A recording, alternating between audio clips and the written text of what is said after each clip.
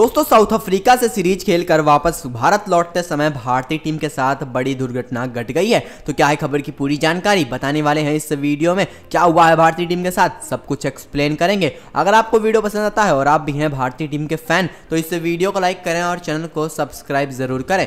दोस्तों, भारतीय team south Africa के दौरे पर गई हुई है, जहाँ पर उसे तीन टेस्ट और तीन ओडीआई खेलने थे। लेकिन दोस्तों, उसके लिए यह दौरा बहुत ही बुरा रहा, जहाँ टेस्ट श्रृंखला वह एक और दो से हार गई भारतीय टीम, वहीं ओडीआई श्रृंखला में ज़ीरो तीन से उसे हार मिली।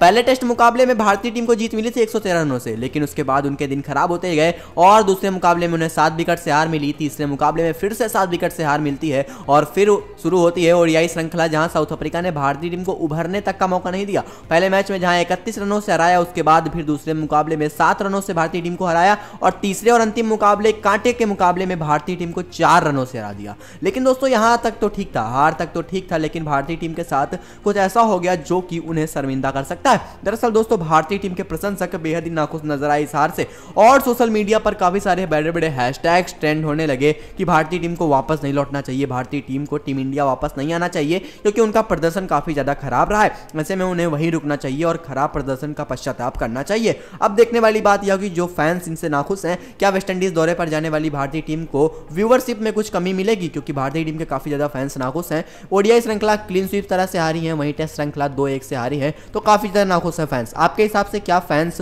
फिर से खुश हो पाएँगे? भारतीय टीम को पहले की तरह देखना पसंद करेंगे? हमें अपनी राय नीचे कॉमेंट में ज़रूर बताइएगा। वीडियो अच्छी लगी हो तो लाइक करें चैनल को सब्सक्राइब करें, साथ ही हमारे टेलीग्राम चैनल को ज्वाइन करें, जिसका लिंक डिस्क्रिप्शन में दिया हुआ है। वीडियो देखने के लिए आपका बहुत बहुत धन्यवाद।